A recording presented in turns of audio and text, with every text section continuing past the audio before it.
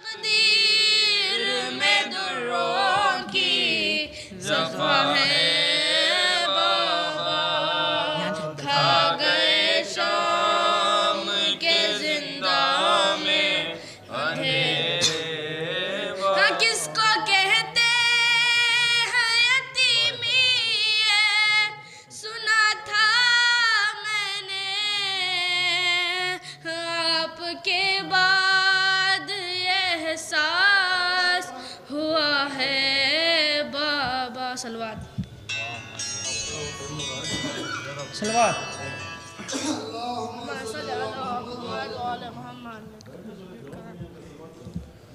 देखा जब बाप का लाशा तो सकीना रोई देखा जब बाप का लाशा तो सकीना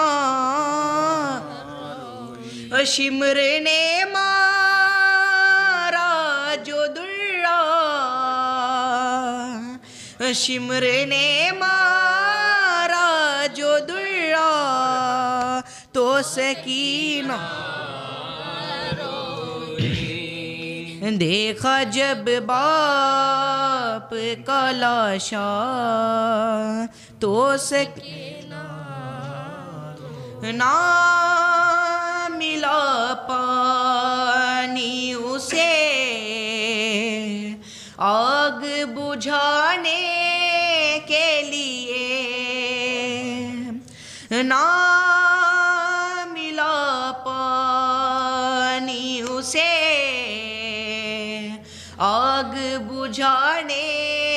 के लिए जल गया भाई का झूला।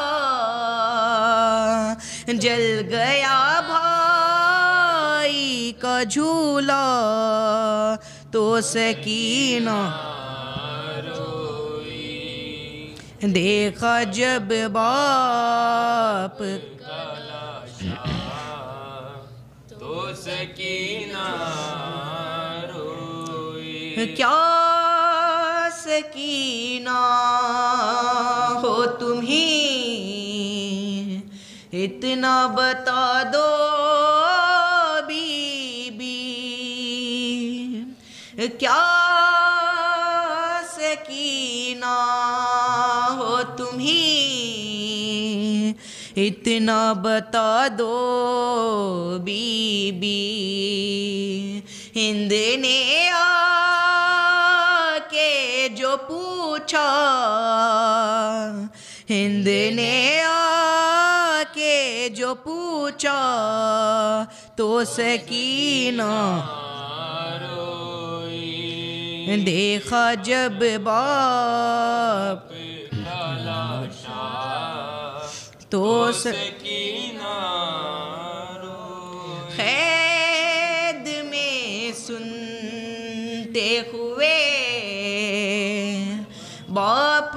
सर से लोरी। कैद में सुनते हुए बाप के सर से लोरी। जख्मी होठों को जो देखा, जख्मी होठों को जो देखो तो सकी और शिमर ने मारा जो दुर्रा तो सकीना रोई।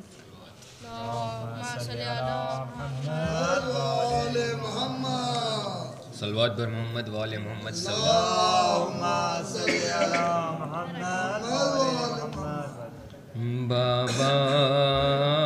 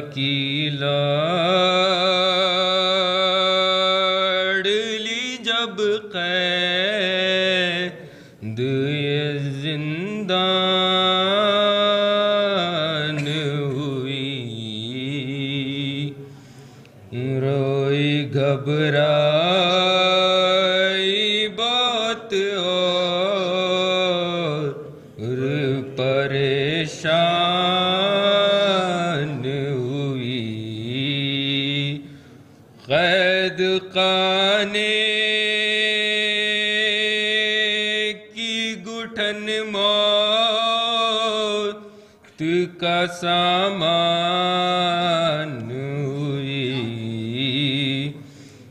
जान लगता था के की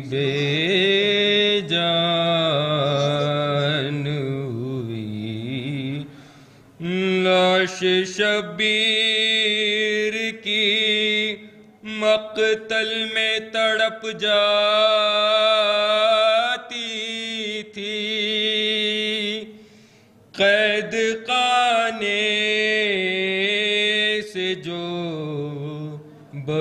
बची की सदा।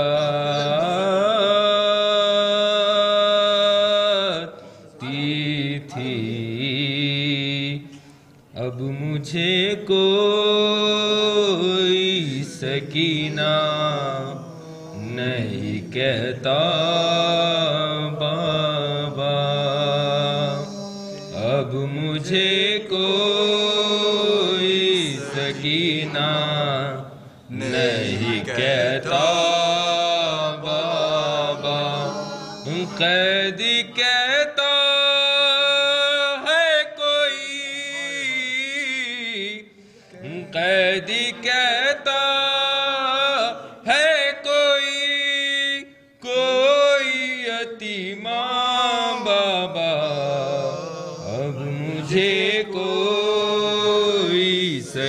सकीना नहीं कहता, बाबा, अब मुझे कोई सकीना नहीं कहता बाप मैं बयां कैसे करूँ अपनी मुसीबत तुमसे? क्या करूँ अपने तमाचों की शिकायत तुमसे सुनती हूँ, दादी ने खाया था तमाचा, बाबा। है, अब मुझे कोई सकीना नहीं कहता, बाबा। मुझे कोई सकीना नहीं कहता बा। नील रुखसारों पे बिनाई भी जिसकी कम हो। उम्र हो चार बरस और कमर में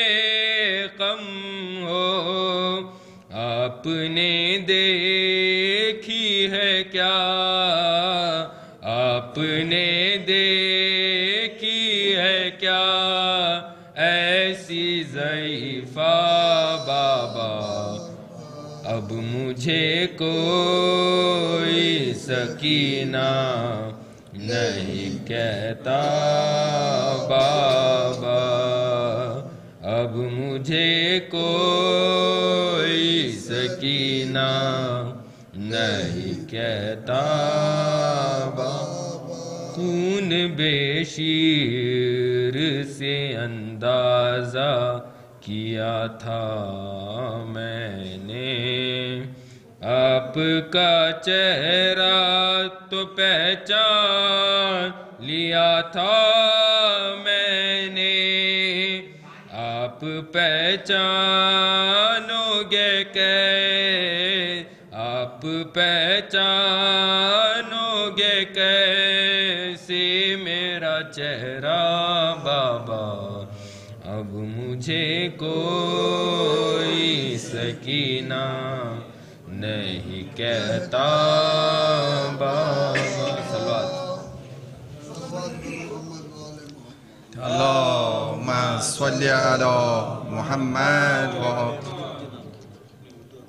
सकीना की सदा है। सकीना की सदा है। अरे ओ,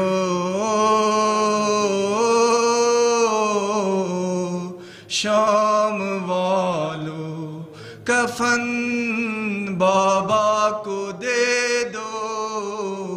अरे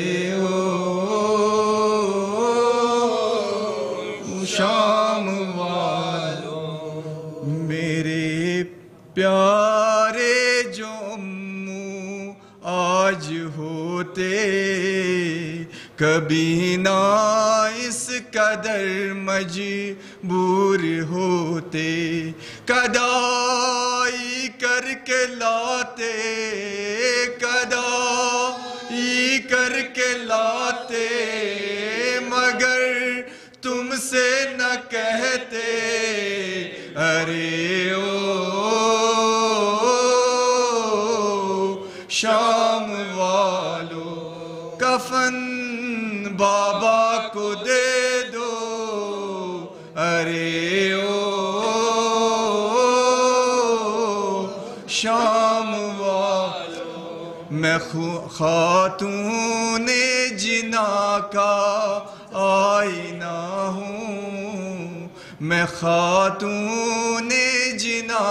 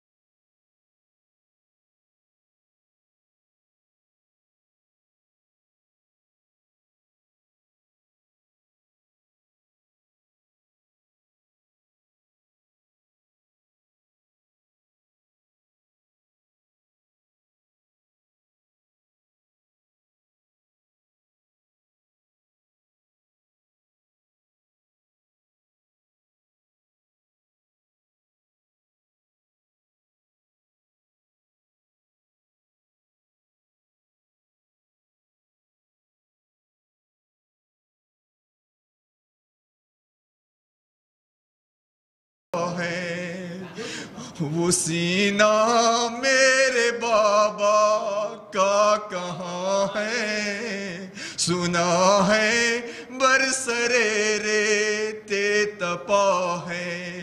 नहीं, हाय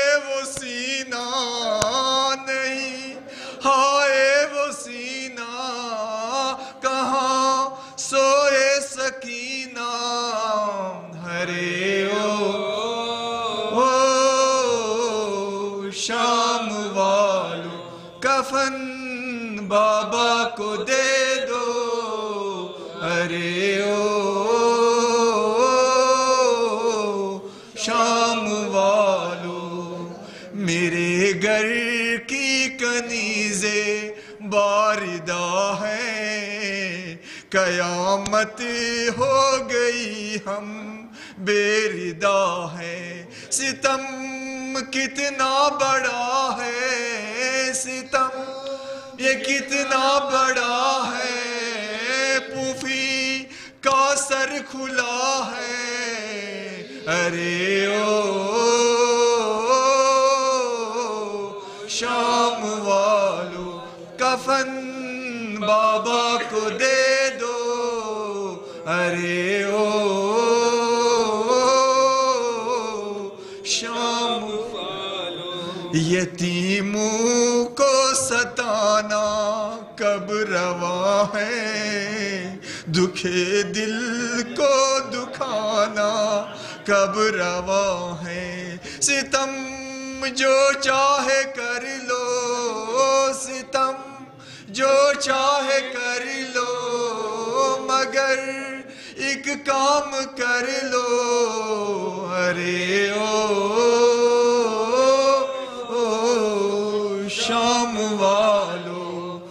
अरे ओ कूफे वालो, रिहाई की तमन्ना मर चुकी है। ये ज़िंदा मेरी मंजिल आखिरी है। मगर बाबा से कहना, मगर बाबा से कहना, अब ना शाम आना। अरे ओ, शाम वालो, कफन बाबा को दे दो। अरे ओ, शाम वालो सकीना सदा है।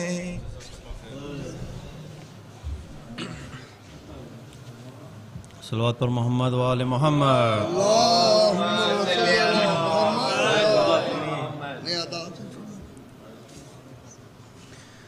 जब गुल हुआ चरा हराम खैत खाने में याने सकी न मर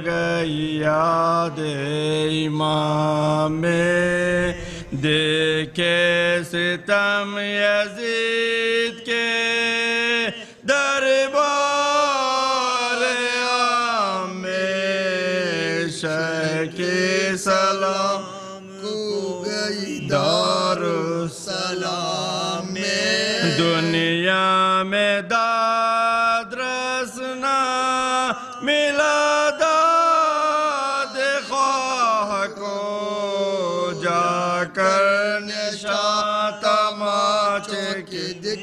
दिखलाए शाह को।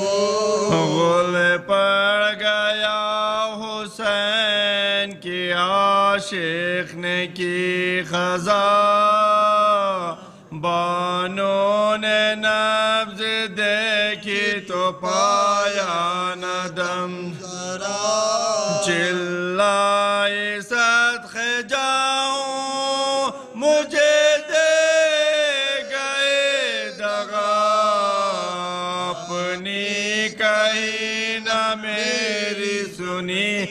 कहा क्या किया? असगर को कुछ पयाम भी मैंने दिया नहीं। तुम चल बसे तुम चल बसे और अम्मा ने रुखसत किया नहीं। बाबा की प्यारे अम्मा की प्यारी जुबा को खोल। लाई हूँ शरबत मेरी प्यासी दहन को खो मारो रही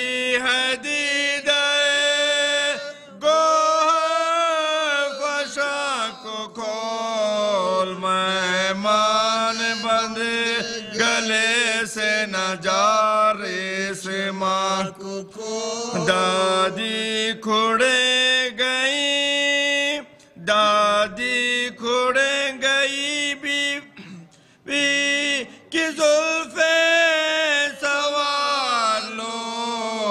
लो उठो ये फटा हुआ कुर्ता उतार लो।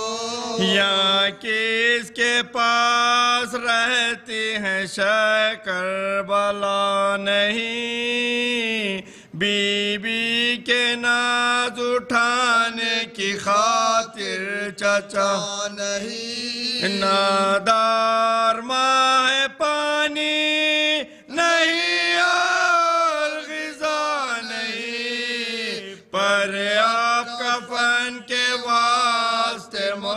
मुतलक अम्मा के पास रहने से ईजा उठा चुके, बीबी तमाचे खा चुकी, गर्दन बंदा चुके।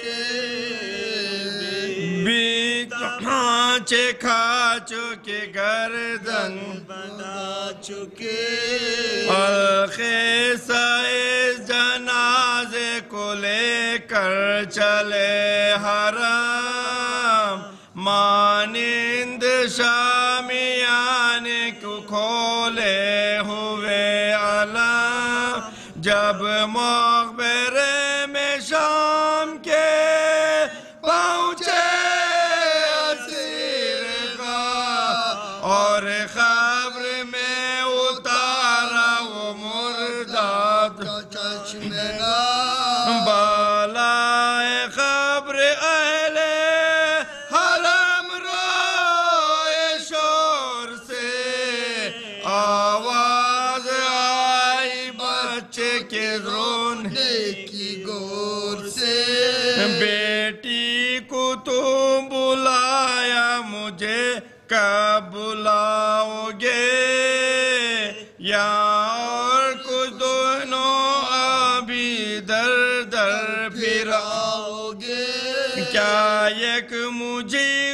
सबकी अजा में रुलाओगे बेवारिसी बहन को न क्या तुम छुड़ाओगे? आई निदा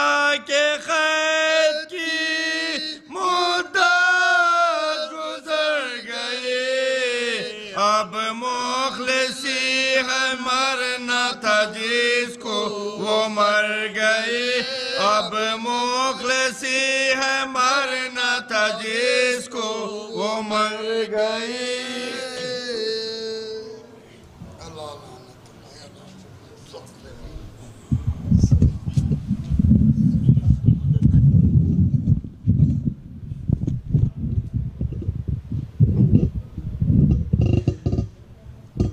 नारे सलवात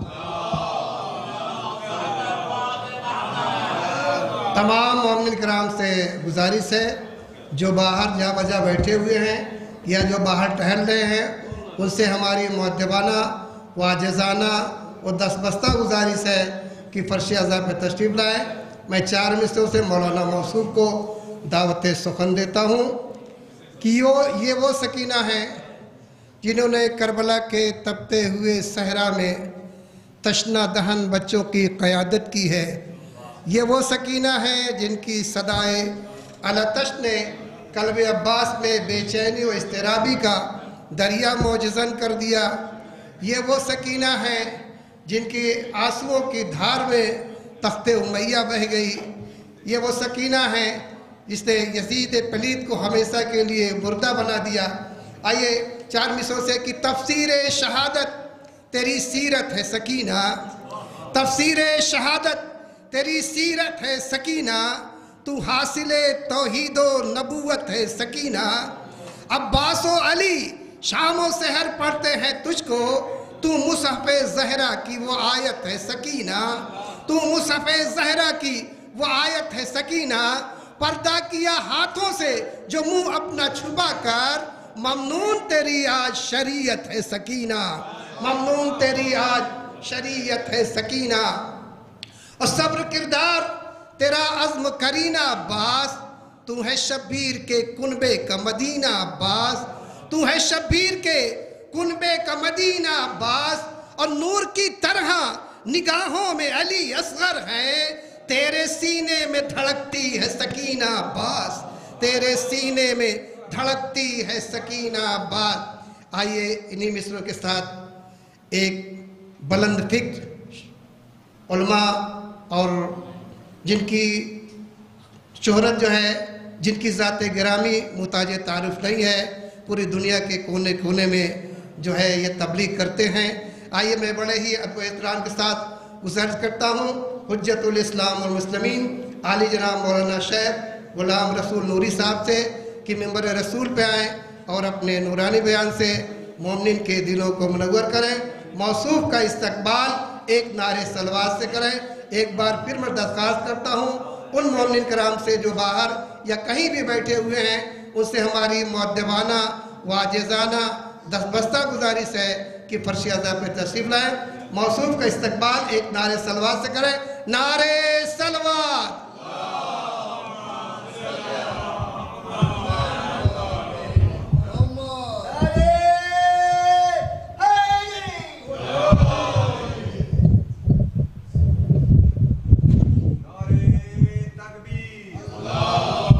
Çelik yapıyor. Bir gücünü çekecek.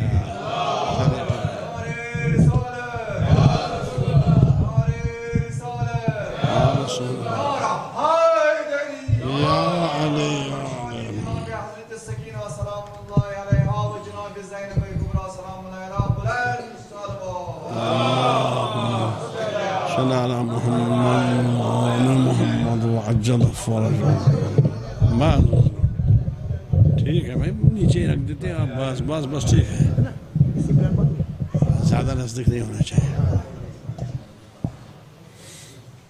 सलाम अलैकुम वरहमतुल्लाहि वबरकातुह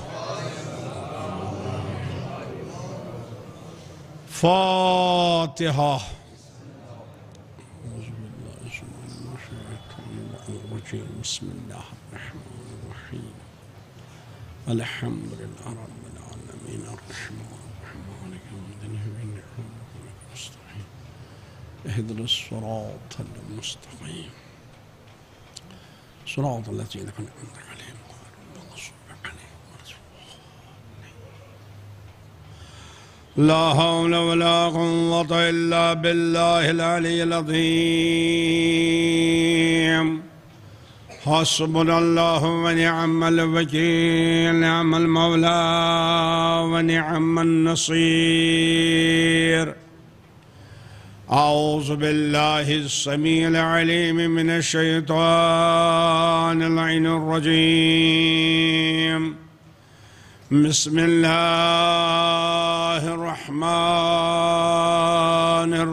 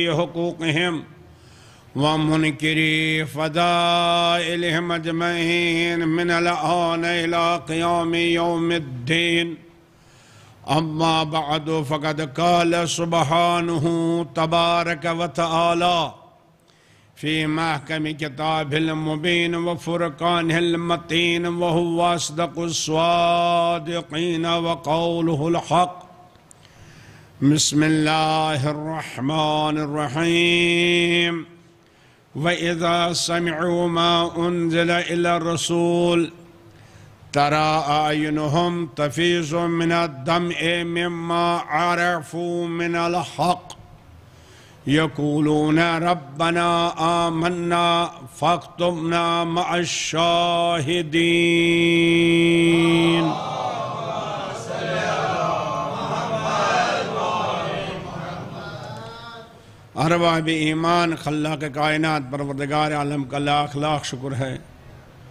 जिसने ये तोफ़ी इनायत फरमाए कि अपने घर में, खाल खुदा में हमको बुलाकर इमाम हुसैन के दस्तरखान पर बैठने की तोफ़ी इनायत फरमाई।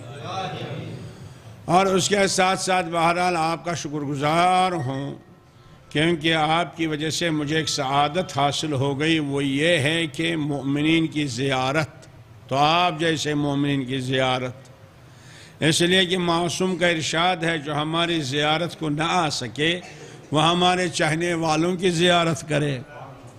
लिहाजा आपकी ज़ियारत करके मैं सआदत से मुशर्रफ हो रहा हूँ। अलबत् इस बात का एहसास है कि मैं बहरहाल इससे पहले आया करता था, हर साल आपकी खदमत में। अलबत् ये एक दो साल ऐसे हुए कि आपकी ज़ियारत नसीब नहीं हुई। लिहाजा इस दौरान जो हमारे अज़ीज़ हमारे कदरदान, हमारे हौसला अफजाई करने वाले, हमारे बयान सुनने वाले इस बेंगलोर में इस फरशाजा पर रहा करते थे, लेकिन आज हमारे सामने नहीं हैं। न जाने वो कितने लोग हैं तो मैं उनको बाहर गिन नहीं सकता।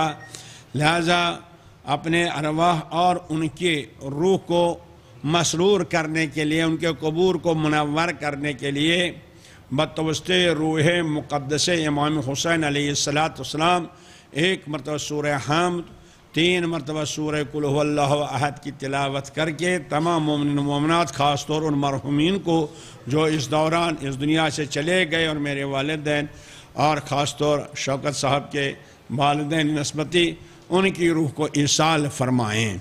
बसमीम अलहमदिल्ला अर्रहमानरहीम मालिक उमद्दीन इयाक नबुद व इयाक नस्तीन हदन सरातलमस्तकीम सरातलदीन अनअमत अलैहिम गैरलमागज़ूब अलैहिम वलद्वालीन बसमिल्लाहमानरहीम कुल हुवल्लाहुअहद अल्लाहुस्समद लम यलिद वलम यूलद वलम यकुल्लहु कुफुवन अहद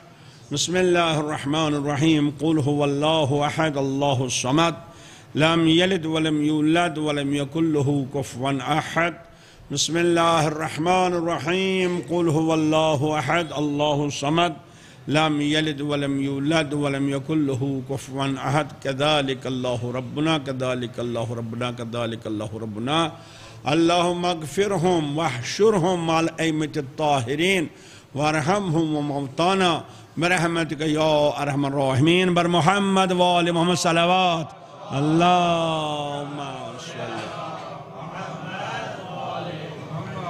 उसके साथ साथ खल्ला के कायनात, परवरदगार आलम का भार दीगर तशक्र और शुक्र कितना भी बजा लाएँगे तो अजान ग्रामी हक का शुक्र अदा नहीं हो सकता है। कैसी कैसी नियामतें अल्लाह ने हमको अदा की है।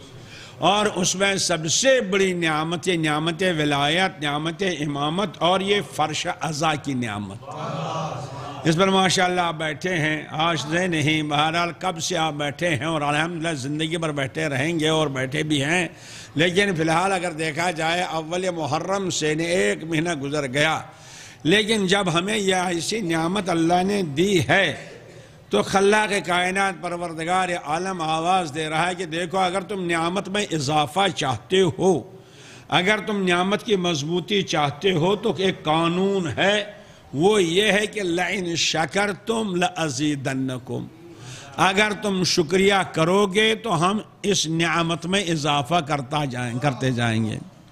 इजाफा होगा, ज़्यादती होगी नियामत में, ज़्यादा आज़ादार हम बनेंगे, ज़्यादा मातमदार बनेंगे और इस आतम का असर हम पर होगा जब शुक्र है। और अगर शुक्र नहीं, कुरान मजिद कहता है, अलम तरदीन बदलू नियामत कुफरा। क्या आपने उन लोगों को नहीं देखा जिन्होंने नियामत खुदा को कुफरान करके बदल दिया? यानी कुफरान नियामत किया, शुक्र नहीं किया तो सिर्फ़ उसने अपने को नुकसान नहीं पहुँचाया। वह अहल्लु कौम हम दार बवार उसने अपनी कौम को, अपनी सोसाइटी को बर्बादी में पहुँचा दिया। यानी जो शुक्र नहीं करता है, वो सिर्फ़ अपने को नुकसान नहीं पहुंचाता है। और जो शुक्र करता है, वो कमाल हासिल करता है। लिहाजा इसका शुक्र क्या है?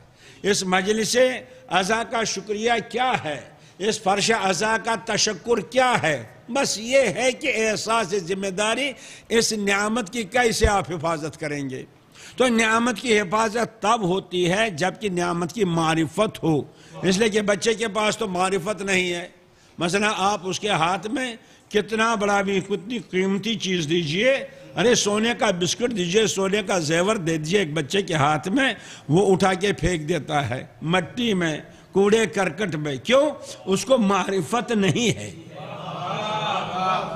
सोना तो है, कीमती चीज़ है मगर उसको मारिफत नहीं, लिहाजा कहीं इधर फेंक देता है कहीं इधर फेंक देता है। लिहाजा अगर उसको मारिफत होगी तो उसकी हिफाजत करेगा। लिहाजा इसी तरह यह जो फर्श अज़ा और यह अज़ाय हुसैन कितनी बड़ी नियामत है तो क्या ज़िम्मेदारी है? तो तवज्जो फरमाइए, आपकी ज़िम्मेदारी क्या है, हमारी ज़िम्मेदारी क्या है? देखिए, फर्श अज़ा में ख़ास तौर तीन किस्म के लोग शामिल हैं।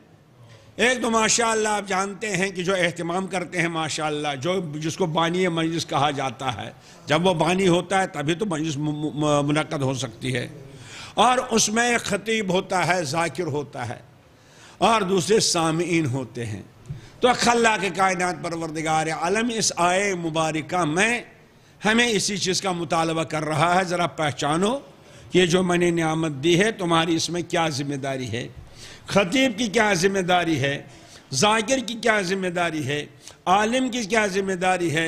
नवा खान की क्या ज़िम्मेदारी है? और सुनने वालों की क्या ज़िम्मेदारी है? सलावाद भेजिए बर मोहम्मद।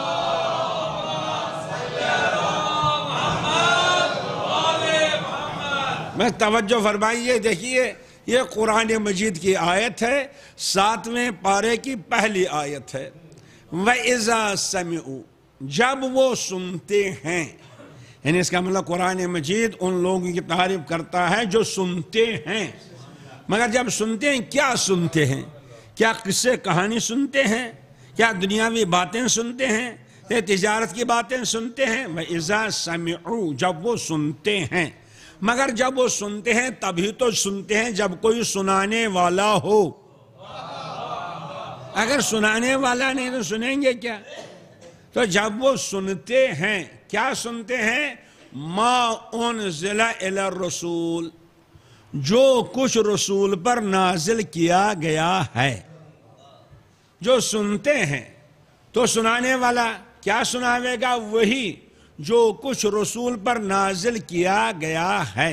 तो खतीब की ज़िम्मेदारी है, जाकिर की ज़िम्मेदारी है कि वो बयान करे। मगर उसका बयान क्या होना चाहिए? मा उन रसूल।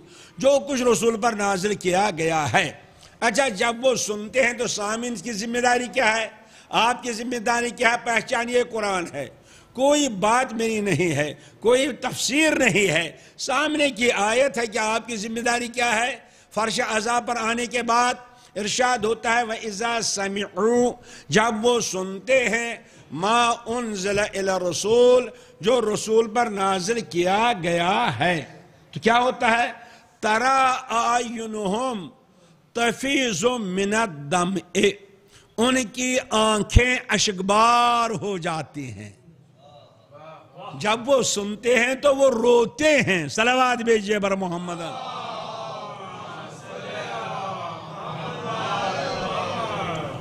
तो कुरान कह रहा है कि सुनने वाले की पहली ज़िम्मेदारी क्या है? रोना। यकीन आप रोते हैं माशा अल्लाह देखिए, कुरान कह रहा है, जब वो सुनते हैं तो वो रोते हैं, आँसू बहाते हैं आहवाह करते हैं। क्यों? क्या उनको किसी ने मारा? क्या किसी ने धमकाया? क्या किसी ने डराया? गान नहीं, मैं अरफू मिनल हक इसलिए रोते हैं क्योंकि वो हक को पहचानते हैं।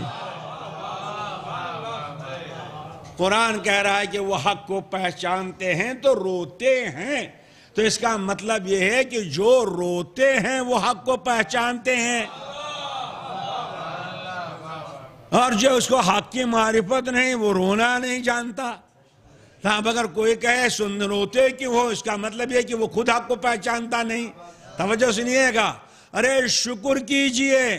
कुरान कहता है कि रोते वो हैं जिनको हक की मारिफत है। तो अल्हम्दुलिल्लाह आप रोते हैं, इसका मतलब यह है कि फर्श अजा पर इरफान हक हासिल होता है। एक सलावत भेजिए बर मोहम्मद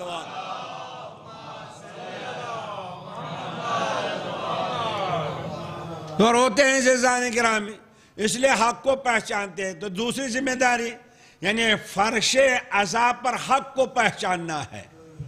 यानी एक आज़ादार की ज़िम्मेदारी है कि वह हक और बातिल में फ़र्क कर सके। वो आज़ादार नहीं है जो बातिल को भी हक कहे, हक को बातिल कहे। वो आज़ादार नहीं है। आज़ादार वो है जो रोए और रोते हुए हक को पहचाने। उसके बाद क्या कहते हैं? यकूलून रब्बना आमन्ना। उसके बाद वो कहते हैं, ए रब, ए परवरदगार, हम तो ईमान लाग चुके हम तो मोमिन बन गए तो इसका मतलब यह है कि फर्श अजा पर ईमान में इजाफा होना चाहिए। तवज्जो फरमाइएगा एक एक जुमले को तवज्जो सुनिएगा। तो अजीजान ग्रामी, इरफान हक, और उसके बाद ईमान, कहते हम ईमान ला चुके फाकतुब नाम शाहिदीन ए परवरदिगार, अब हमारा नाम उनके साथ लिख दे जो गवाही देते हैं, जो शहादत देते हैं, जो शाहिद बनते हैं। एक सलावाद भेजिए बर मोहम्मद।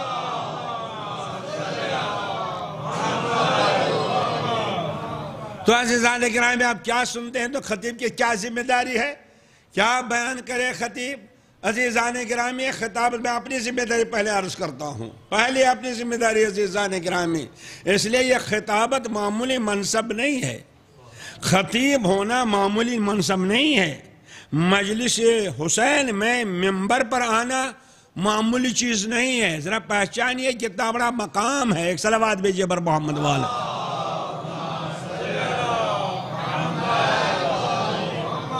बारे में अपनी ज़िम्मेदारी अदा कर रहा हूँ और सोच रहा हूँ अपने को नसीहत करूँ। तो अजीज़ान ग्रामी चनाचे खल्लाक कायनात परवरदगार आलम ने कुरान मजीद में एक सूर मुबारक में न्यामतों का ज़िक्र किया। मादी न्यामतें, मानवी न्यामतें, ज़ाहरी न्यामतें बातनी न्यामतें दुनियावी नियामतें, उखरवी नियामतें, सब नियामतों का ज़िक्र एक सूर मुबारक में है। उस सूरह मुबारक को कहा जाता है उरूसुल कुरान। उरूस बने दुल्हन। इन्हें कुरान की दुल्हन। कौन सा सूरा है? सूरह रहमान है।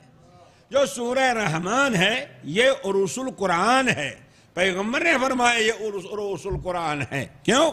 इसमें नियामतों का ज़िक्र है। आप पढ़िए सूरह रहमान।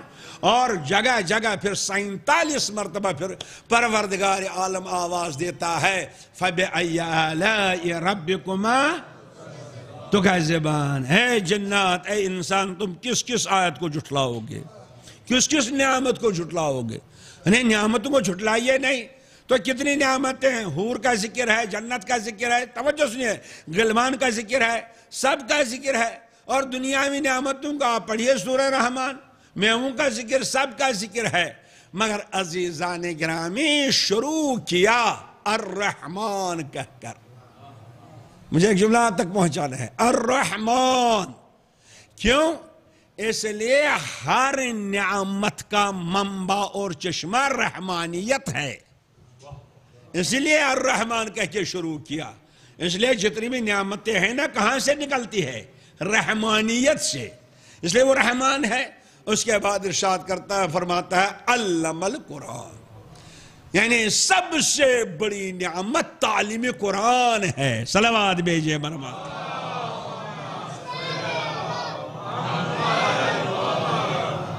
सबसे बड़ी नियामत कुरान की तालीम है। अल्लमल कुरान। तवज्जो सुनिएगा, जो मुझे नुख्तार करना है। खल खलकल इंसान। उसके बाद जो नियामत है, वह है ज़िंदगी। वह है खिलकत। अगर खिलकत नहीं, कुछ नहीं। अगर ज़िंदगी नहीं, कुछ नहीं। जितनी भी नियामतें हैं, उनका दारो मदार हयात पर है। देखिए, साइंसदान तब साइंसदान है जब ज़िंदा है। इंजीनियर तब इंजीनियर है जब उसके पास ज़िंदगी है। अब जो है ही नहीं, जिसके पास वजूद ही नहीं तो साइंसदान कैसे बनेगा? इंजीनियर कैसे बनेगा? प्रोफेसर कैसे बनेगा? दुनियावी नियामतों का मालिक कैसा बनेगा? तो खलकत इंसानी, मगर उसके बाद इरशाद होता है, खलकल इंसान अल्लमहुल बयान। क्या अल्लाह ने ये सबसे बड़ी नियामत अता की है इंसान को, उसको बयान करने की तालीम दी है। एक सलावाद भेजिए बर मोहम्मद।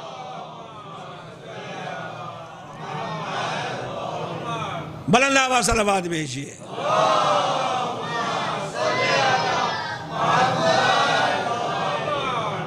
बुलंद अजाद ग्रामी तो उन बयान, और ये बयान के मुख्तलिफ़ तरीके हैं।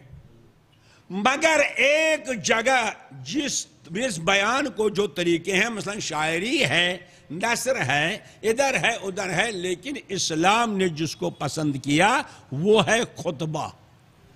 इतना अहम है खुतबा, इतना अहम है मिंबर, इतना अहम है इसकी ज़िम्मेदारी अजीज़ान ग्रामी जिस तरह नमाज़ वाजिब, रोज़ा वाजिब, हज वाजिब, जक़ात वाजिब, इस पर जितने वाजिबात हैं, उसी तरह खुतबा बयान करना वाजिब, खुतबा सुनना वाजिब।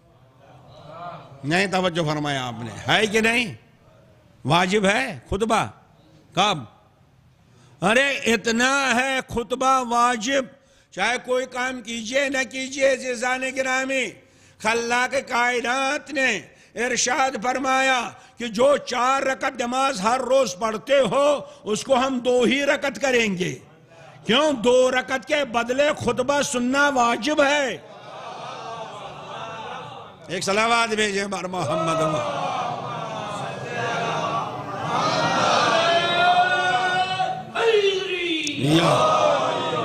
हर हफ़्ते आपको खुतबा सुनना वाजिब है। है वाजिब कि नहीं? इतना वाजिब है कि कुरान मजीद ने कहा, चार रकत नमाज़, दो ही रकत। मगर हर हर हर हफ़्ते खुतबा होना चाहिए। और ऐसा खुतबा जरुल जैसे तुम्हारे कान में आवाज़ आएगी, दौड़ के आ जाओ, तिजारत बंद करो। खुतबा सुनना वाजिब है।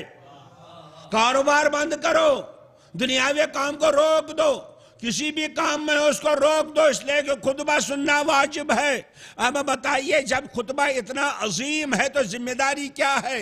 यही राज था, जब भी सरवर कायनात मेंबर पर आते थे। सलवाद भेजिए बर मोहम्मद वाले।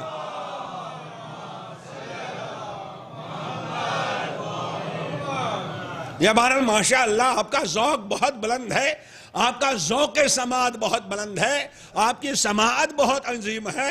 मैं आपको ज़रा, आपको एक अल्हम्दुलिल्लाह, आपको ज़रा सा एक तोहफा देना चाहता हूँ। आपके पास नियामत है। उस नियामत को पहचानिए। तो पैगंबर जब भी मंबर पर आते थे खुतबा देने के लिए, हर खुतबे से पहले ये आय मुबारक पढ़ते थे। या अयुहल्लजीना आमनु इत्तकुल्लाह वकूलू कौलन सदीदा।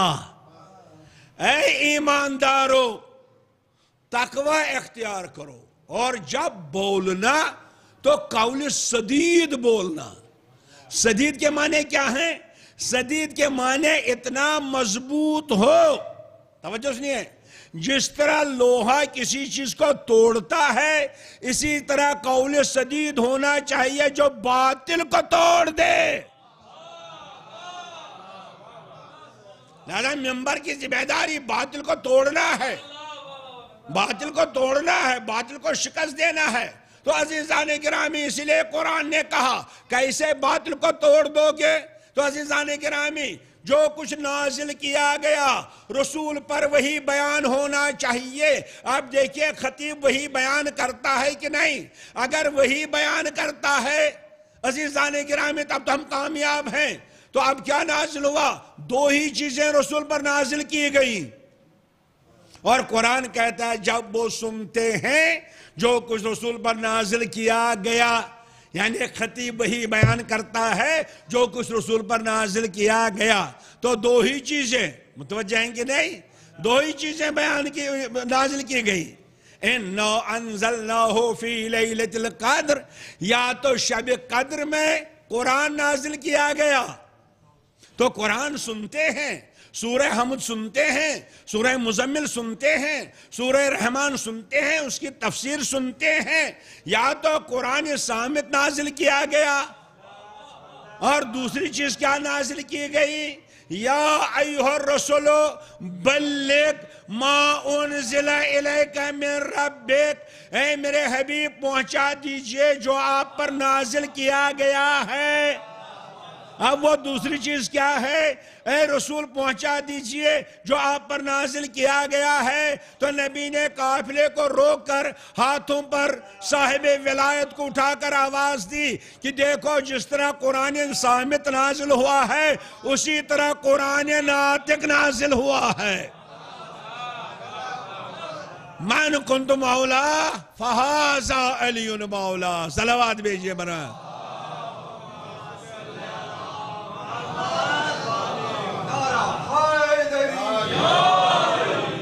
तो कुरान वलायत सुनते हैं, समझो सुनिएगा आप। या तो कुरान सामित सुनते हैं, या कुरान वलायत सुनते हैं, या कुरान सामित सुनते हैं, या कुरान इमामत सुनते हैं। कुरान सामित की आयतें मुन हैं, समझो सुनिएगा। तो अजीज़ाद गिरामी, वो तो है ही है सूर हमद है सूर्य मुजबिल है, मगर कुरान वलायत के फ़जाइल, चाहे उर्दू में हूँ नवहे की सूरत में हूँ कसीदे की सूरत में हूँ शेर की सूरत में हूँ, वो सुनते हैं तो अजीज़ान गिरामी, जो कुरान सामित की तिलावत करता है, उसको कारी कहते हैं। जो कुरान सामित की तिलावत करता है, उसको कारी कहते हैं। जो कुरान विलायत की तिलावत करता है, उसको गदीरी कहते हैं। एक सलामत भेजे पर मोहम्मद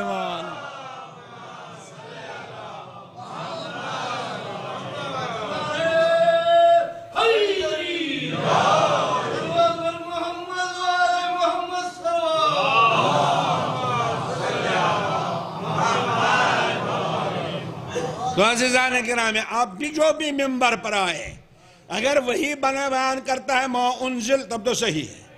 हैं? वरना अगर इधर उधर की बातें तो इसका मतलब यह है कि मिंबर का हक अदा नहीं हो रहा है। बहरहाल मेरी जिम्मे मैं अपने लिए कह रहा हूँ भाई, मुझे क्या बयान करना है? मुझे क्या पढ़ना है आपके सामने? क्योंकि ये मनसब मामूली नहीं है। मनसब खिताबत और ये मिंबर की ज़िम्मेदारी जब हमारे एक आयतुल्ला जिनका नाम था सैयद मोहम्मद काजिम तबा तबाई यजदी। उनकी किताब है अल उर्वतुल वुस्का। और तमाम मुश्तहिदीन उसी पर हाशिया लिखते हैं। जो आप अमलिया देखते हैं ना तवजुल मसाइल उसी से निकाला गया है। असल में किताब है उर्वतुल वुस्का। बहुत फैक की किताब है। तो सैद मोहम्मद काजिम तबा तबाई ये अपने ज़माने के मरजा थे। अपने ज़माने के मुश्तहद थे। अपने ज़माने के वली फ़कीर थे। जो बहरहाल उस ज़माने में। लेकिन जब इनका इंतकाल हुआ तो अजीज़ान ग्रामी इनके शागिर थे आयतुल्ला खुरासानी। आयतुल्ला खुरासानी इनके शागिर थे।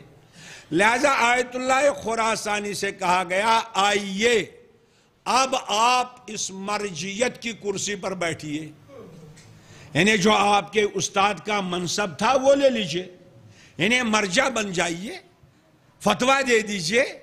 मर्जियत का मकाम आपको हासिल है। फरमाया कि नहीं नहीं, मैं नहीं कभी नहीं, ये मैं बोझ नहीं उठा सकता। ये ज़बरदस्त बोझ है, मेरे कानों पर नहीं उठ सकता है, मैं कमज़ोर हूँ। तो इनकार किया। मकाम मर्जियत हासिल करने से इनकार किया। कि मैं मर्जा नहीं बन सकता, मैं मुश्तर नहीं बन सकता, मैं ये बोझ नहीं उठा सकता। खूब जब बहुत इसरार किया लोगों ने कि नहीं तस्लीम किया तो ख्वाब देखा। इससे पहले मैं अर्ज़ कर चुका हूँ, अगर कोई शख्स मासूम को ख्वाब में देखेगा, वो मासूम ही को देखता है। इसलिए किसी में ताकत नहीं कि वो मासूम की सूरत बना सके। किसी में ताकत नहीं कि मासूम की सूरत बना सके। शैतान में ताकत नहीं कि वो मासूम की सूरत बना सके। समझे कि नहीं? अरे जब सूरत नहीं बना सकता है तो मानवीयत कैसे बना पाएगा? मान लेते हैं, मनसब पर बैठ जाते हैं। मनसब पर बैठ जाते हैं, मनसब पर कब्जा करते हैं, इसलिए कि मासूम को पहचानते नहीं। तो आयतुल्ला खुरासानी ने ख्वाब देखा। ख्वाब में तशरीफ़ लाए सरकार ख़त्मी, मरतबा जनाब मोहम्मद रसूलुल्लाह सल्लल्लाहु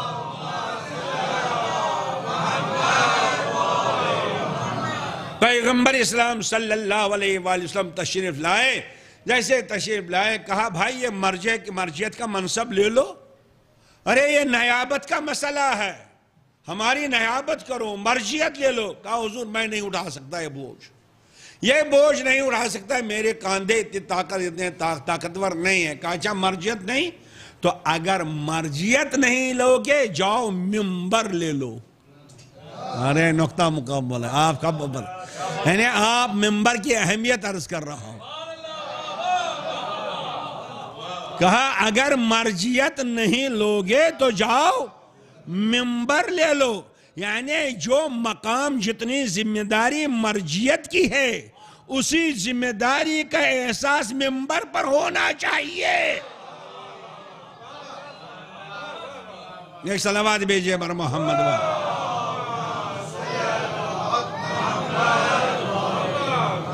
नहीं मकाम मर्जियत मामूली मकाम नहीं है।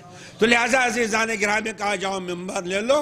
मगर कुछ शर्तें रखी, अल्हम्दुलिल्लाह। तीन शर्तें रखी। कहा, तीन शर्तें हैं तो मेंबर पर जाओ। मेंबर ले लो, खतीब बनो।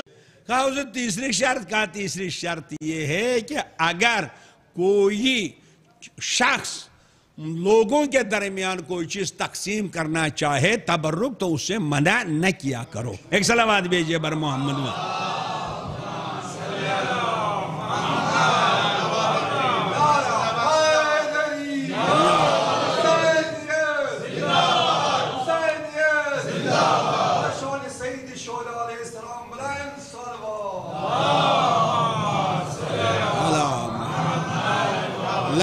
खतीब की ज़िम्मेदारी है, वही बयान करे उन जिला रसूल। बस, अजीज़ान ग्रामी। अलहमद यहाँ पे हमारी ज़िम्मेदारी, इसके अलावा भी हमारी जिम्मेदारियाँ हैं, मगर आपकी ज़िम्मेदारी, जो मैंने अर्ज़ किया, उसका एहसास कीजिए। ये तो आप, माशाल्लाह, सुने, खतीब की जिम्मेदारियाँ क्या है? आपकी ज़िम्मेदारी क्या है? पहली ज़िम्मेदारी है रोना। अगर रोना न आए, रोने वाले की सूरत बनाना। ये वाजिब है, ये ज़रूरी है सामिया के लिए। तो रोइए, मगर क्यों रोइएगा? ऐसे ही नहीं, वो रोते हैं जब हक को पहचानते हैं। तो हक भी पहचानना फिर रोते नहीं है, क्योंकि नियामत में इजाफा चाहिए ना। रहमान, खर्रू सुजदम व बुकिया। जब उनके सामने आयात इलाही की तिलावत की जाती है तो वो रोते रोते सजदे में गिर जाते हैं। अरे, आँखों में आँसू भी आ जाते हैं, रोते भी हैं, मगर सजदा भी करते हैं। मालूम ये होता है कि हक पहचानने वाले की पहचान ये है, रोना भी हो, सजदा भी हो। तवज्जो फरमाया रोना भी हो, सजदा भी हो। इसलिए कि अगर अजीजान गिरामी सजदा है, उसमें तड़प नहीं उसमें मारिफत नहीं, उसमें इरफान नहीं, उसमें तपिश नहीं, उसमें इश्क नहीं। अगर सजदा है बगैर इश्क के, अगर सजदा है बगैर तड़प के, अगर सजदा है बगैर मारिफत के, वो सजदा नहीं है, वो ज़मीन पर नाक रगड़ना है। एक सलावाद भेजे बर मोहम्मद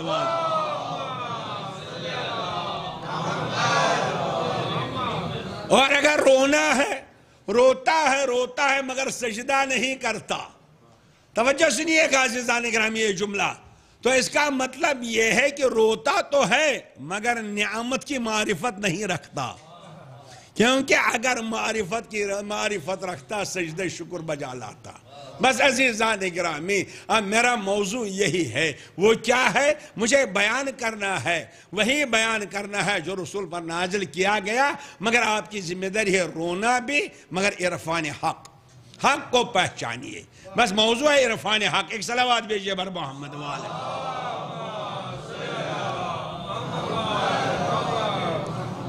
भाई, आपकी सलावाद तो कमज़ोर है। मालूम होता है कि आप थके हुए हैं। चल तो इरफान हक अल्लाह अकबर बस फर्श अजा की सबसे बड़ी ज़िम्मेदारी हक की मारिफत हक का इरफान अब हक क्या है कितने हुकूक हैं भाई अगर गिन लिए जाएँगे अल्लाह का हक है रसूल का हक है इमाम का हक है नमाज़ का हक है रोज़े का हक है दीन का हक है शीयत का हक है इरफान का हक है विलायत का हक है इमामत का हक है उसके बाद नीचे आ जाइए हमसाइयों का हक है बच्चों का हक है कितने हुकूक हैं अब उन तमाम हुकूक को अगर आप एक जगह जमा करेंगे, समझिए कि हक एक ही है। और कोई हक नहीं है। हक एक है। बाकी हक उस हक की तजलियाँ और किरने हैं। सलवाद बेजे बरमाम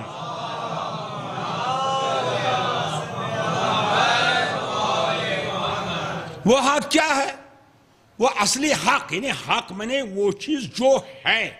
वाकन है किसी की मोहताज नहीं है। कोई उसको मिटा नहीं सकता, कोई उसको खत्म नहीं कर सकता। वो सिर्फ़ एक है।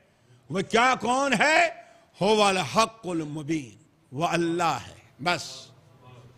एक हक है वह है खुदा। एक हक है वह है अल्लाह। एक हक है वह हमारा पालने वाला, हमको रिस्क देने वाला। बस ये हक है। तो उसकी मारिफत। अब उसकी मारिफत अगर हासिल करना है, उसी को पहचानना है। यही दीन की बुनियाद है, अव्वलुद्दीन मारिफा। दीन का पहला जीना मारिफत है। तो आप कैसे पहचानिएगा? क्यों? इसलिए कि जब किसी को पहचाना जाता है तो या तो आँखों से पहचानते हैं, या तो कानों से पहचानते हैं। मसलन, आप मुझे देख रहे हैं, पहचान रहे हैं। कि मौलवी साहब सामने हैं? मौलाना साहब बयान कर रहे हैं। कुछ लोग बाहर वो देख नहीं रहे हैं। सुन रहे हैं मेरी आवाज़। पहचान रहे हैं कोई खतीब है। मुतवजह है कि नहीं? लेकिन कुछ ऐसी चीज़ें हैं, उनको न आँख से पहचाना जा सकता है, न कान से। मसलन आपको किसी चीज़ में देखना है, इसमें मिठास है, खटास है, तीतापन है, शीरीनी है तो क्या कीजिए, आँख के पास लाइएगा? लाइए लाइए। नहीं। कान के पास नहीं पता चलेगा। कहाँ पता चलेगा? जब आप ज़ुबान पर रखिएगा। जब ज़ुबान पर रखिएगा। मुतवजह है नहीं कि नहीं? तब पता चलेगा, अरे मीठा है, अरे कड़वा है, तीता है। लेकिन कुछ ऐसी चीज़ें हैं जिनको ना आँख से देखा जाता, ना कान से सुना जाता, ना ज़ुबान से चखा जाता। फिर मसलन किसी चीज़ की बू मालूम करना है। बू जानते हैं ना भाई तो लगाते हैं कि नहीं? अब बू मालूम करना है। अब बताइए, बू आँख से मालूम होगी कान से मालूम होगी क्या ज़ुबान पर रखिएगा? मतलब कोई फूल है, क्या ज़ुबान पर रखिए? नहीं, उसके लिए मशाम चाहिए। तो मशाम के ज़रिए आप हासिल कर सकते हैं। तो अजीजान गिरामी अल्लाह ऐसा है, ना दिखाई देता, ना सुनाई देता। तो क्या ज़ुबान पर रखिएगा, उसको चखिएगा? चखा भी नहीं जाता उसको। अच्छा क्या सूंघिएगा उसको? ऐसा गायब। अब आप बताइए, कैसे पहचानिएगा? तभी दर्ज कर रहा हूँ इनशाला तो वो ऐसी जात है, न आँखों में समा सकती, न कानों में आ सकती, न ज़ुबान से चखा जा सकता, न कानों से सुना जा सकता, न उसको टटोला जा सकता। परवरदिगार, ऐसा गायब है। मगर एक मसला तो हमारे सामने आ गया। वो सामने ये मसला आ गया, अजीजान ग्रामी, एक चीज़ है मौजूद है, सामने है, मगर आँख से दिखाई नहीं देता, कान से सुनाई नहीं। मसलन, आप देखिए, इसी मिठास को देखिए या फूल की खुशबू को देखिए। आप फूल की खुशबू आँख के सामने दिखाई नहीं देती तो आँख के लिए गायब।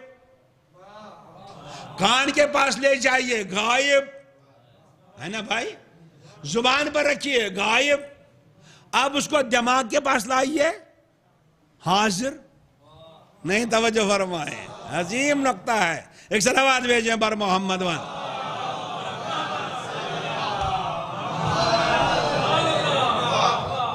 जवान मुतवजा रहे। गैब गैब मुतलक नहीं है। यानी एक चीज़ है, मौजूद है, कोई इनकार नहीं करता। मसलन फूल की खुशबू ले लीजिए। दुनिया का कोई इंसान कम इल्म क्यों ना हो, जाहिल क्यों ना हो, उससे कहिए इसमें खुशबू नहीं। अरे क्यों नहीं है? मैंने कहा, आँख के लिए तो गायब है। आँख से दिखाई नहीं देता। कान से सुनाई। यानी इसका मतलब यह है कि आँख के लिए तो गायब है। कान के लिए तो गायब है, मगर मशाम के लिए हाजिर है। तो अगर एक फूल की खुशबू आप मशाम के लिए हाजिर है, कान के लिए गायब, आँख के लिए गायब, आप इनकार नहीं करते। अब अगर गुले मोहम्मदी पर्दे में है,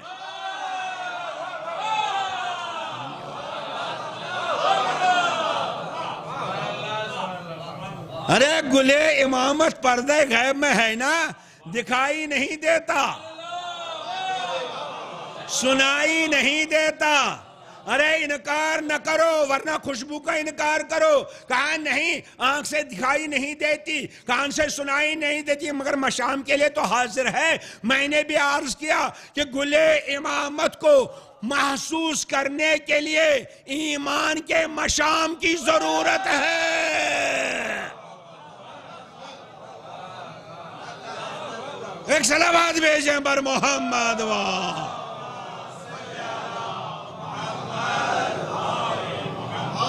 मिलजुल के दरूद भेजे पर मोहम्मद वाह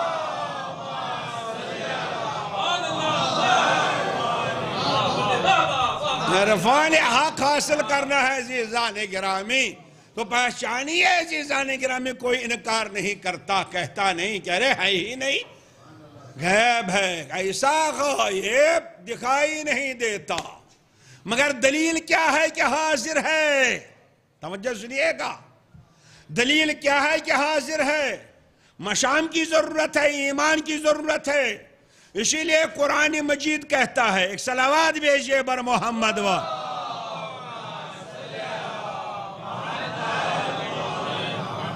हाल यंजुरून अन तातियुहुमुल मलाइका औ यातिया रब्बुक। औ यातिया बाज़ु आयाति रब्बिक एक सलावाद भेजिए बर मोहम्मद वाले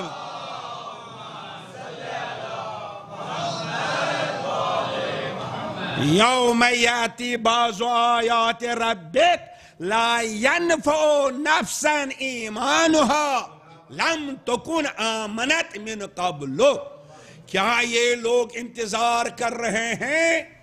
क्या ये लोग इंतज़ार में हैं कि मलाइका आ जाएँ? वो इसलाह करें, वो मुआशरे को ठीक करें, वो समाज को ठीक करें, वो अदल इंसाफ का परचम बुलंद करें। क्या इसका इंतज़ार है इनको मलाइका आ जाएँ? और यातिया रब बुक या ये इंतज़ार कर रहे हैं कि रब आ जाए। इसलिए बहुत से लोग ऐसे, अरे छोड़ो भाई, अल्लाह पर छोड़ दो, अल्लाह पर छोड़ दो। तवज्जो सुनिएगा। है ना भाई? हर चीज़ में अल्लाह पर छोड़ दो। एक सलावात भेजिए पर मोहम्मद वाले।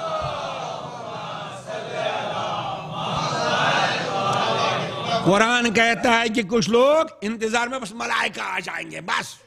अब ये हालात ठीक होने वाले नहीं हैं, इसको मलाइका ठीक करेंगे। अच्छा यार रब आ जाए, खुदा। औ या बाजो आयात रबिक या ये इंतज़ार करते हैं कि तेरे रब की एक आयत आएगी। एक आयत, यानी बाज इस्तेमाल हो जाता है हम माशा बैठे हैं, जहाँ पर भी बाजो इस्तेमाल होगा था एक के लिए। तो आप कितनी चीज़ों का इंतज़ार है? तीन चीज़ों का। मलाइका आ जाए, रब आ जाए, या रब की? एक आयत आ जाए, एक आयत तो आ जाए तो इंतज़ार है। अब कुरान कहता है, आएगा कौन? मलाइका आएँगे? नहीं। रब आएगा? नहीं। यौम याति बाजो आयात रबिक उस दिन का इंतज़ार करो जिस दिन रब की एक आयत आएगी। अच्छा जब एक आयत आएगी, रब नहीं आएगा, मलाइका नहीं आएँगे, मगर एक आयत आएगी। तो बचाएँगे नहीं? एक आयत आएगी रब की तो क्या होगा? लम तुकुन आमनत मिन कबलू अगर इससे पहले कोई ईमान न ला चुका हो तो उस वक्त उसका ईमान लाना कोई फ़ायदा नहीं देगा जब वो आयत आएगी ना बहुत से लोग उस वक्त ईमान लाएँगे कहा नहीं कोई फ़ायदा नहीं कोई फ़ायदा नहीं कोई फ़ायदा नहीं और उस वक्त अमल खैर करेगा कोई फ़ायदा नहीं कुल तजरू इन नामुन तजरून अल्लाह आवाज़ रहे इनसे कहो कि ये इंतज़ार करें, क्योंकि मैं भी इंतज़ार कर रहा हूँ। एक सलावाद भेजिए पर मोहम्मद वाद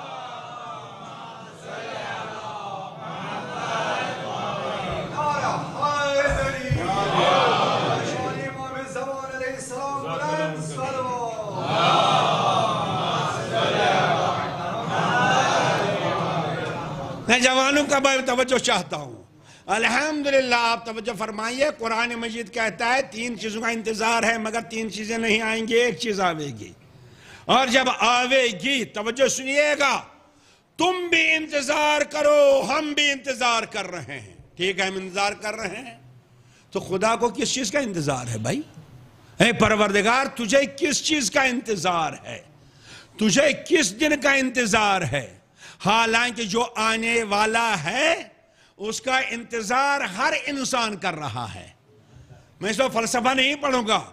हिंदू भी इंतज़ार करते हैं, ईसाई भी इंतज़ार करते हैं, यहूदी भी इंतज़ार करते हैं जरतुश्ती भी। अरे, माफ़ कीजिए, बेईमान भी इंतज़ार करता है। करता है कि नहीं? जरा बेईमान से कहो बेईमान। लड़ने आएगा कि नहीं? इसका मतलब वो भी चाहता है कि बेईमानी खत्म होनी चाहिए। अरे झूठे को कहो, झूठा। है? लड़ने आएगा। इसका मतलब वो भी चाहता है झूठ खत्म होना चाहिए। अरे जालिम को कहो, जालिम। अरे जालिम को कहो, जालिम। लड़ने आएगा। क्या मैं जालिम हूँ, इसका अल्लाह वो भी चाहता है जुल्म खत्म होना चाहिए। तो सब चाहते हैं जुल्म खत्म हो, झूठ खत्म हो, हसद खत्म हो, बेईमानी खत्म हो, बदकिरदारी खत्म हो, मगर खत्म करेगा कौन? अदल इंसाफ कौन करेगा? कहा कि हम तो उसी का इंतज़ार कर रहे हैं। एक सलावाद भेजिए पर मोहम्मद वाले मोहम्मद।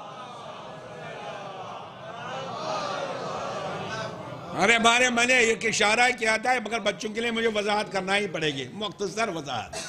हर मज़हब का अकीदा है कि आखिर एक जात आएगी। एक जात तशरीफ़ लाएगी जो इस दुनिया को अदल इंसाफ से भर दे। चाहे हिंदू हो, चाहे ईसाई हो भाई मेरे पास बड़ी ज़िम्मेदारी से अर्ज़ कर रहा हूँ। हिंदू साहब, बहरहाल अज़ीज़ जाने गिराम में वो तो आवेगा, मगर अल्लाह को काहे का इंतज़ार है?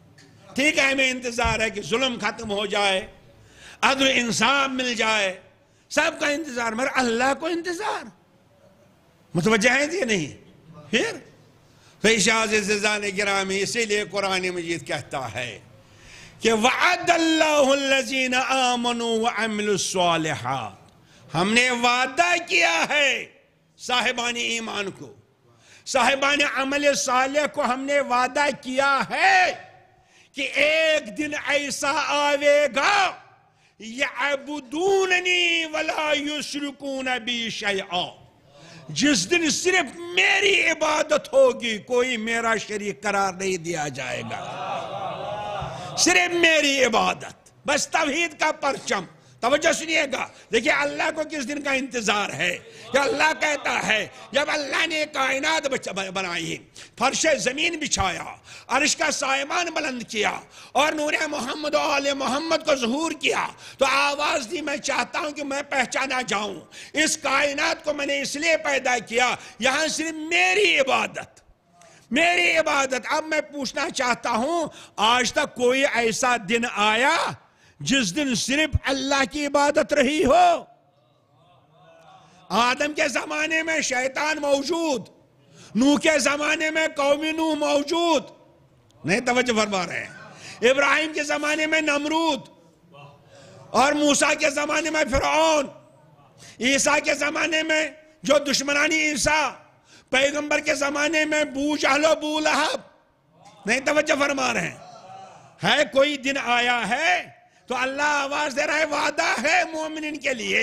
एक ऐसा दिन आना चाहिए जिस दिन सिर्फ़ मेरी इबादत हो और किसी की इबादत नहीं होगी। तो हमको भी इंतज़ार है, अल्लाह कहता है, वो वही दिन होगा जिस दिन इमाम महदी जहूर फरमाएँगे।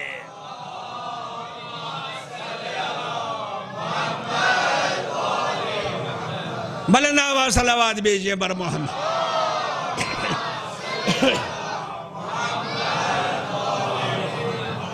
अल्लाह अकबर वजूद मुकदस इमाम। अल्लाह अकबर कहा नहीं।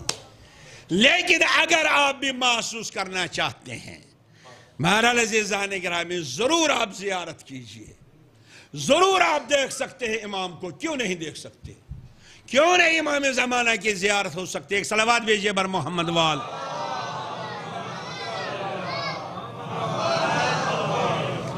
देखिए बहरहाल तो मैं तफसील अर्ज़ नहीं करूँगा। अभी तो दो साल पहले आपने देखा कैसे कैसी परेशानियाँ थी।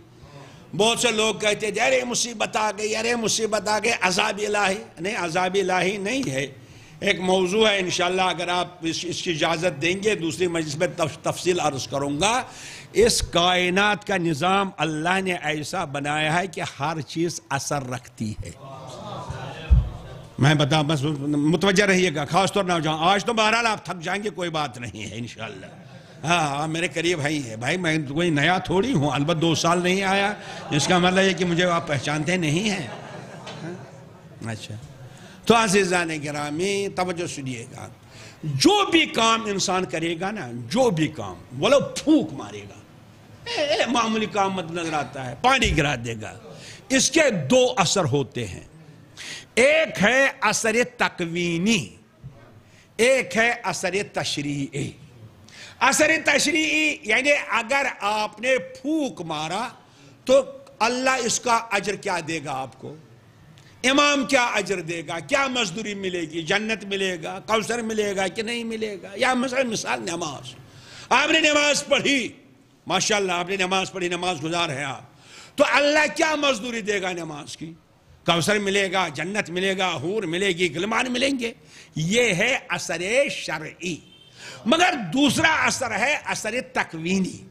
वो ये है कि अगर आपने ये नमाज़ पढ़ी, इस कायनात में इसका असर क्या हुआ? कोई असर है कि नहीं? इस कायनात में, इस ज़मीन के नीचे। चनाचे, ये काम जो अगर कोई करता है तो इस कायनात पर क्या असर पड़ता है? मिसाल अब नमाज़ की बात आ गई तो नमाज़ की हदीस अर्ज़ करूँगा। इरशाद होता है, इमाम सादिक इस्लाम फरमाते हैं।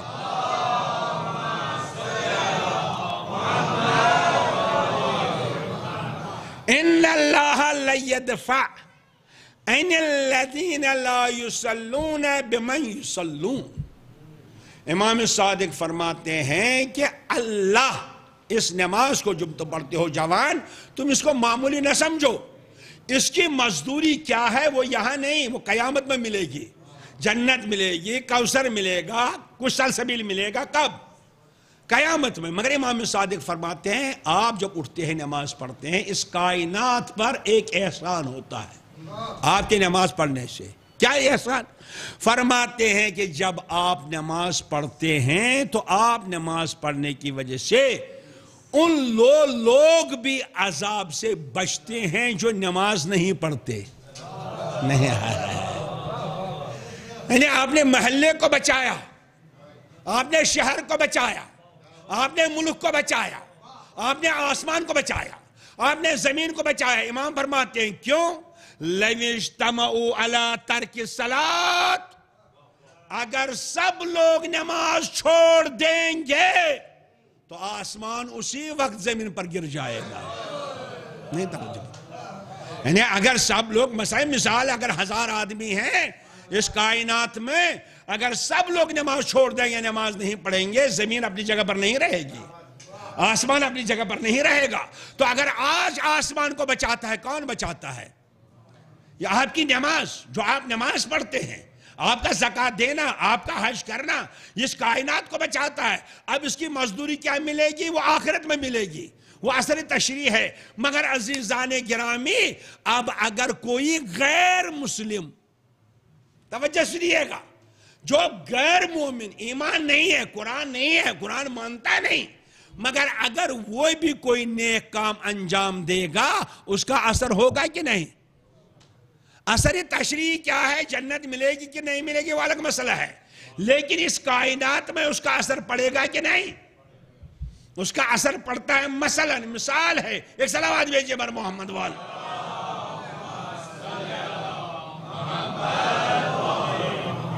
मैं सिवाय मैं समझता हूँ, शायद आप मुझसे रूठे हुए हैं, इसलिए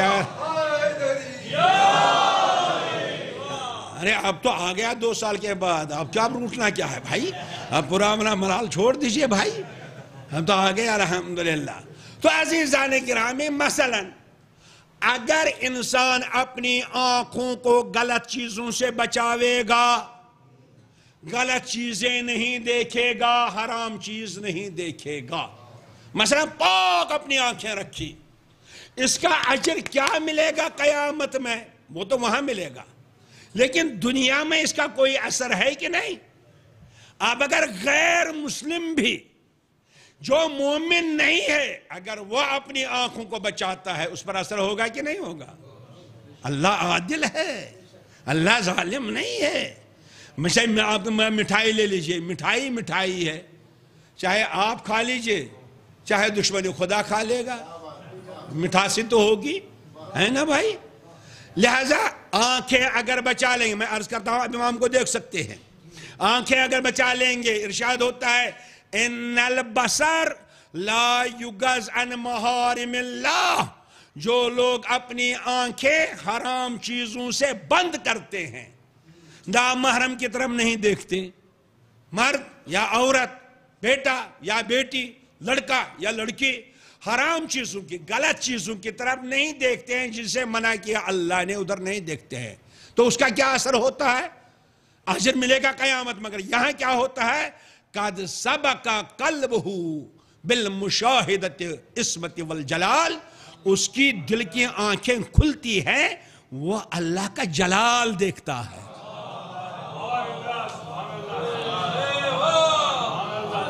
वह अल्लाह का जलाल देखेगा।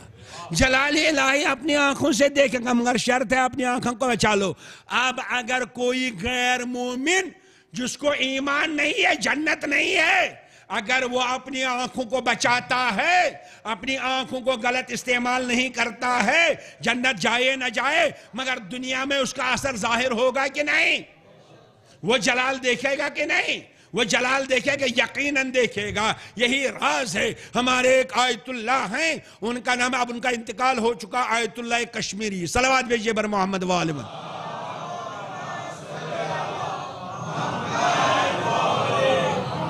आयतुल्ला कश्मीरी। उनका नाम सईद अब्दुल करीम कश्मीरी। बड़े कमालात हैं उनके, इस वक्त अर्ज़ नहीं करूँगा।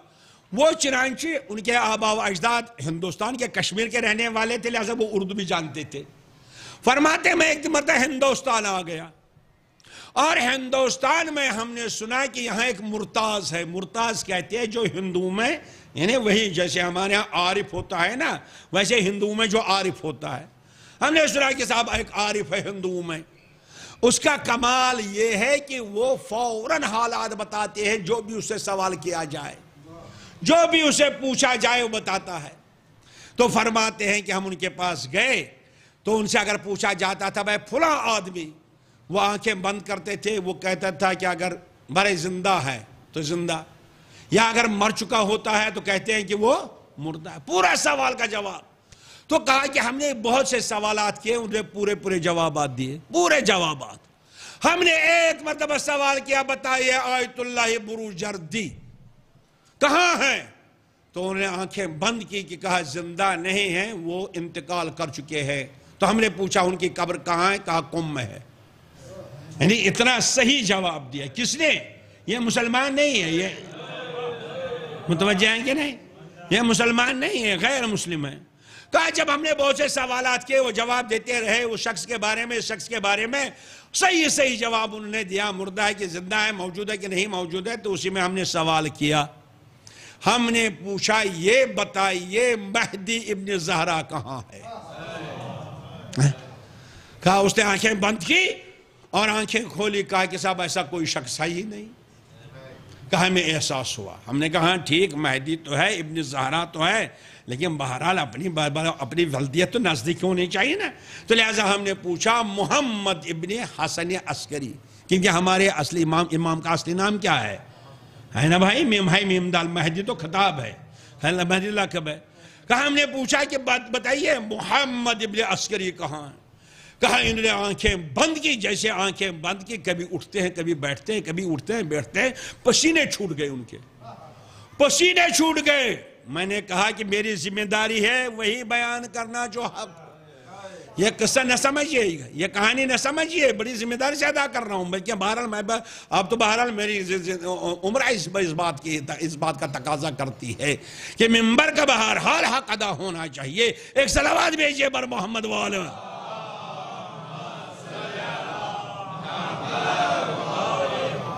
फरमाया कि जब उसके पसीने छूटने लगे कभी इधर कभी उधर कभी इधर कभी उधर आखिर उसने कहा, अरे भाई, ये तुमने किसके बारे में सवाल किया? हमने पूछा, क्यों? कहा, जिधर मैं निगाह करता हूँ, वही मौजूद पाता हूँ।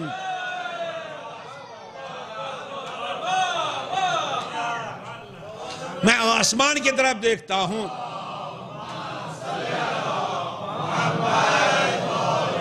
मैं आसमान की तरफ़ देखता हूँ, वही मौजूद पाता हूँ, ज़मीन में देखता हूँ, वही मौजूद पाता हूँ, शर्क में देखता हूँ, वही है, मगरब में देखता है जिधर मैं देखता हूँ, कायनात में वही मौजूद पाता हूँ। ये कौन है जिसके बारे में आप लोगों ने सवाल किया? तो आयतुल्ला फरमाते हैं, हमारे आँखों में आँसू आ गए। हमने कहा कि हमारा इमाम इमाम जमाना है जो हर जगह मौजूद है। एक सलावाद भेजिए बर मोहम्मद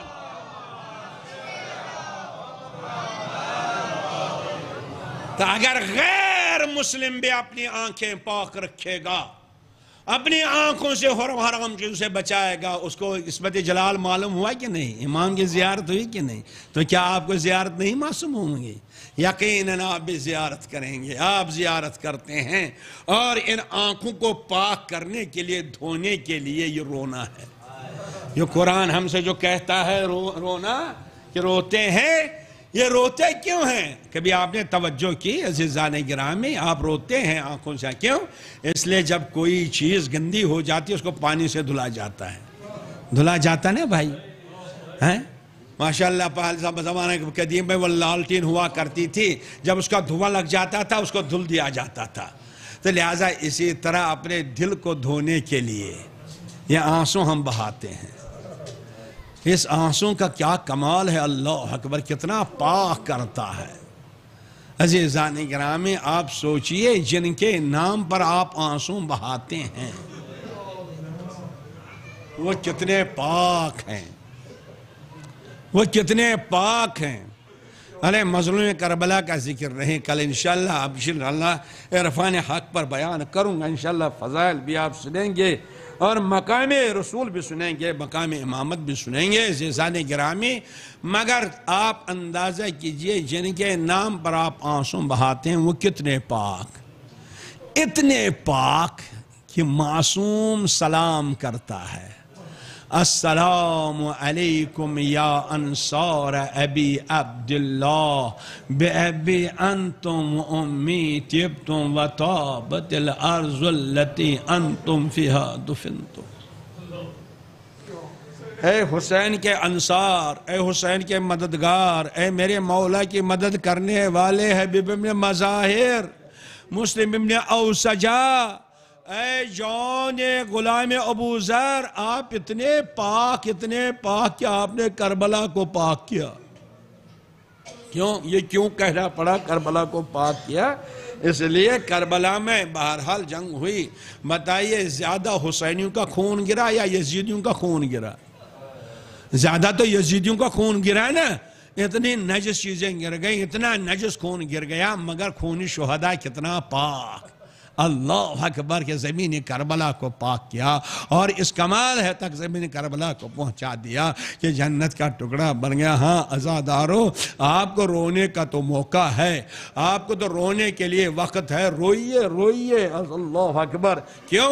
उनको रोने नहीं दिया गया जिनको रोने का हक था।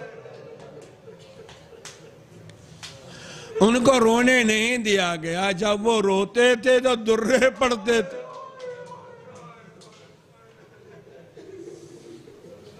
उनको दुर्रे पड़ते थे, उनको दुर्रे लगाए जाते थे। मगर आज़ादारो हाँ रोए रोए, रोइए आप। मगर अल्लाह अकबर रोने वाला हुसैन का लाल सैयद साजिदीन। इमाम जैनुल आबिद कितना रोए, कितनी मुसीबतें। अल्लाह अकबर अल्लाह अकबर। बाज़ार शाम है। बाज़ार शाम है। सहल इबन सायदा बयान करता है कि मैं बाज़ार शाम में पहुँचा, मैंने अजीब मंजर देखा। मैंने क्या देखा? मैंने देखा कि नैजों की कतार है, उन पर शहदा के सर हैं। नैजों पर सर है, मैंने देखा। जितने सर, वो सब नैजों पर। मगर मेरी नज़र गई, मैंने देखा एक सर घोड़े की गर्दन में अवेजान है।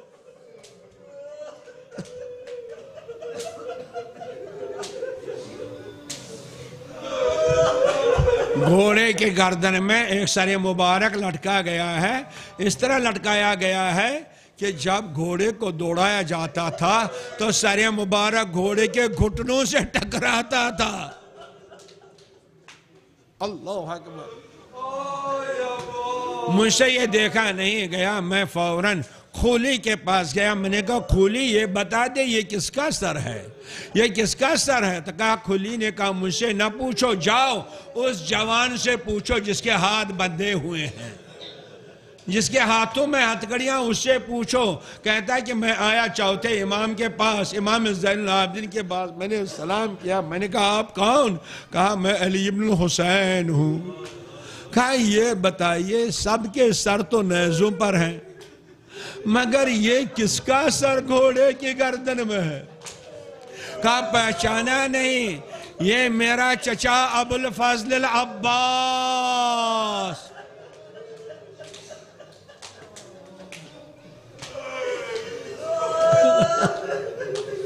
ये अबुल फजल अब्बास मेरे चचा का सर। अल्लाह अकबर। हाँ मैंने पूछा, ये बताइए, घोड़े की गर्दन में क्यों है?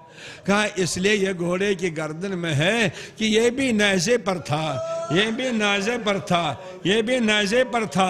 मगर अजीज़ा ने गिरा में फरमाया कि नाजे पर था, मगर इन्होंने मेरी फूफी अम्मा से वादा किया था, बहन, जब तक मैं हूँ तब तक आपका पर्दा रहेगा। मगर जैनब नंगे सर, जब ये नैजे पर जाता है तो इसकी निगाह जैनब के नंगे सर पर पड़ती है। अरे इसीलिए नैजे पर नहीं रुकता। इसीलिए कितना सख्त था। इमाम जैन ने इसीलिए फरमाया अशाम अशाम अशाम आज़ादारों कितना मुश्किल था। बताइए, अगर आप बाज़ार में जाते हो, आपके साथ अपनी फूफी अम्मा हो, कोई अगर उसकी चादर छीन लेगा, अरे क्या गैरतदार बयान करोगे, बर्दाश्त करोगे? मगर इसीलिए जैन ने फरमाया, लम तलिदनी उम्मी ए काश मैंने अपने फूफी अम्मा को नंगे सर न देखा होता। और जैनब ने पुकारा मेरे भैया अब्बास, मेरे सर पर चादर नहीं है, मैं बेपर्दा हूँ।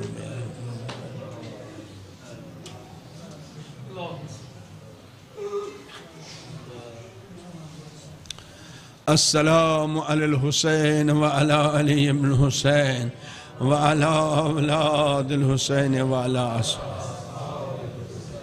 इलाह परवरदिगारा तुझे वास्ता है मोहम्मद आल मोहम्मद का खुदा बंदा हमारे इन आंसुओं को कबूल फरमा खुदा बंदा इस रोने को कबूल फरमा ऐ खुदा तुझे वास्ता है जैनब के रोने का हमारे दिलों को ईमान के नूर से मुनवर फरमा मोहब्बत अहल से हमारे दिलों को ममलू फरमा परवरदगार इस वक्त जो हालात हैं मुसलमानों के ख़ास तौर हमारे हमारे जो हमारे मकतब के हैं इराक़ में दूसरी जगहों पर परवरदगार तुझे वास्ता है खून हुसैन का जमी सादात मोमिन मोमिनात को हुसैन की फ़िक्र इनायत फरमा।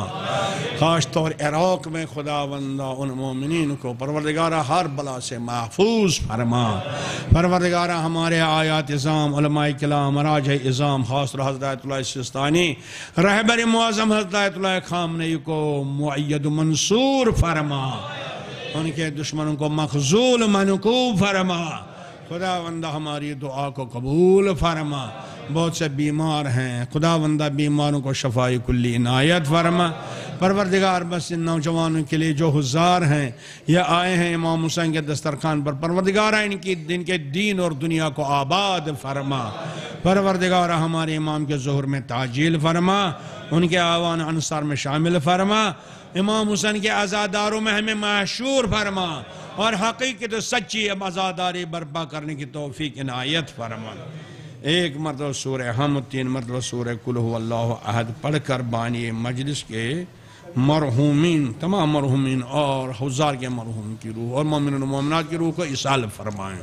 बसमिल्लर अलहमदिल्ला रबालमीन